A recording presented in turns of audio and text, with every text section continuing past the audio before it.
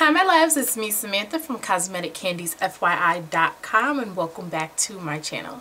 So today's video is actually going to be a foundation review as per the title and it's been a while since I've done an actual product review let alone a foundation review so I'm pretty excited about this particular one. Now you guys know if you follow me on a regular I'm not one to play around with foundation and experiment because if I like something, I usually stick to what I know. But I was really intrigued by this particular foundation, so I knew I had to pick it up. The product that I will be talking to you guys about today is the Bare Minerals Bare Skin Foundation Serum. I believe that's what it's called, or it's actually the Pure Brightening Serum Foundation. And this foundation retails for $29 for which you're getting the standard 30 milliliters or one fluid ounce of product. You can purchase this at Bare Minerals online, Ulta, QVC, Sephora where I got mine or wherever Bare Minerals are sold I believe but I'm pretty sure you're gonna have the best luck at Ulta or Sephora. This is formulated without water there's no silicone no parabens in it so it's safe to say that it's not a water-based product which is interesting because the texture well actually the consistency of this definitely is a little on the runny side but I'll talk about that in a little bit but this is a very interesting foundation. When you screw the top off, oh my goodness. When you screw the top off, it's like a spout. And this is why I hate shaking this thing up because foundation leaks everywhere. Like everywhere. And it's such a waste of product. You really do have to shake this up. But I try to just kind of tilt it or, or kind of invert it upside down and then tilt it back up again a few times.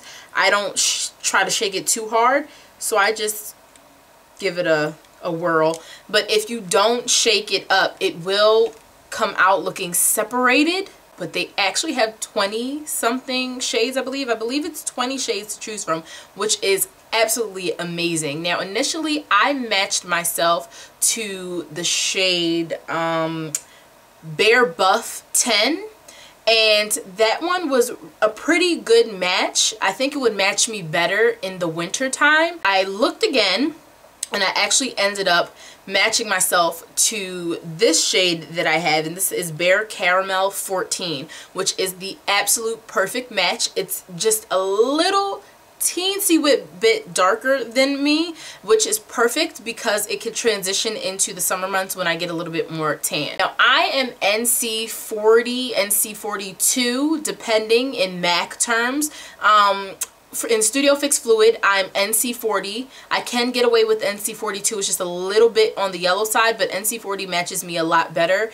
In Studio Sculpt, I'm NC42. In Pro Longwear, I'm NC42 and in um, face and body I am C5 so if you're any of those shade ranges either Bare Buff or Bare Caramel will be a really good match for you. The texture and consistency, like I previously said, is a very lightweight feel, almost liquidy, watery look to it and feel to it. It reminds me a lot of MAC's Face and Body. It has a lot more coverage than Face and Body. It's definitely more of a medium to full coverage foundation.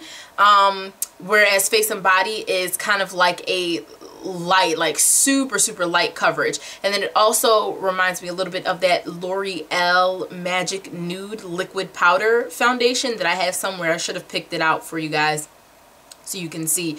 But it reminds me of those two a lot except it's just a little little bit thicker. So it's not as runny but it still is runny and it has twice as much coverage than the two other foundations. Now there is a brush that was sold complimentary to the foundation. My only concern with the brush is that it's $29 and I just feel like why am I going to pay $29 for a brush that's specifically designed to work with just one product. So I opted out on the brush and I really don't feel like I'm losing out on coverage or performance for this foundation by not getting the brush because I think I get the same results I saw in Sephora with the two brushes that I like to use.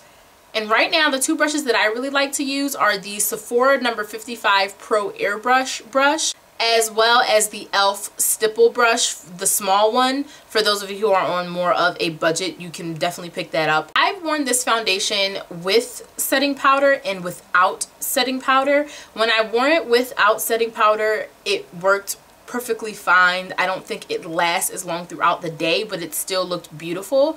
With the setting powder, you are going to get a little bit more of a longer wear. But either way, I prefer both methods. It's just what I'm preferring at the time. Without the setting powder, you're going to get more of a glow, more of a healthier look to the skin, more of that dewiness. Each time I've worn this foundation, I've worn it from anywhere between 5 hours to 10 hours. And I think the longest I can go without having to touch up or without oil starting to peek through the foundation is about six to seven hours which is an average wear time. Overall I really do enjoy this foundation.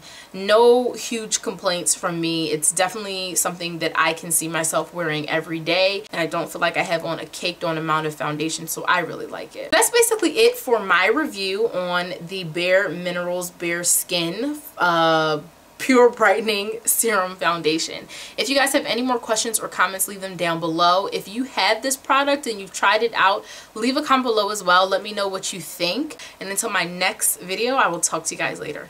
Hmm. bye.